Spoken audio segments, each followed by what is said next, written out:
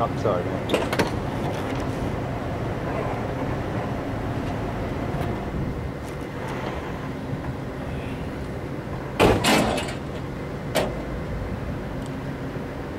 I do that so many times, I, I don't know what to do with it sometimes.